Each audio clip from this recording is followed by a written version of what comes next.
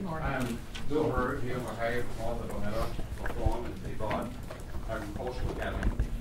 Uh, Madam Chairman, I understand that we have uh, 20 minutes. We'll be reserving five of those minutes for reply on the presentation by PEC. Speaking today as well, at some point in our 20 minutes will be David Johnson, former director of the Department of Conservation and Recreation. We have today a, a video to show you.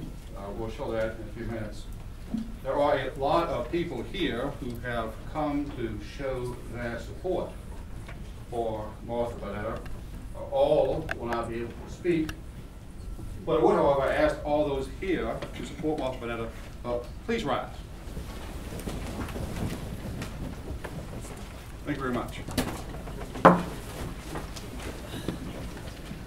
November, we have an election here in Virginia. And while we sometimes grumble about that, elections are a good thing, accountability is a good thing.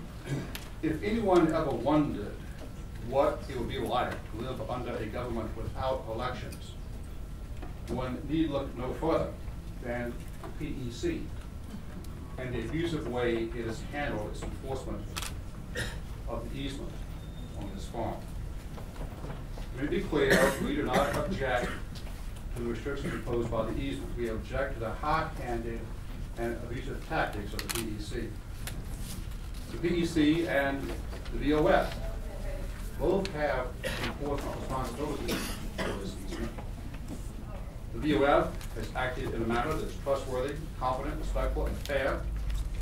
The PEC has not displayed any of those qualities. You have from me letters explaining our position in detail. You have letters from citizens, petitions from citizens, emails from citizens. Hope you've read them. Let me now introduce Martha Boneta, who will turn into this.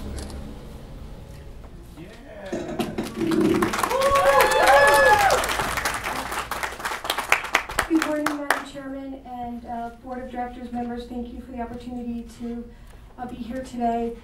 My family purchased Liberty Farm because we love it and we really truly care about the land and very much uh, wanted to fulfill my childhood dream to be a farmer.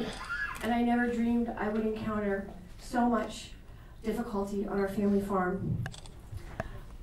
It is my hope and my prayer that after today we'll be able to have some kind of resolution so that we can finally farm this land in peace without the constant threat of uh, burden that has that my family has experienced over the last eight years.